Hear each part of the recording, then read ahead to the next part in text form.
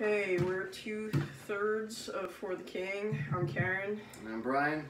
And we're gonna try covering Mary Mary, uh, their song Shackles.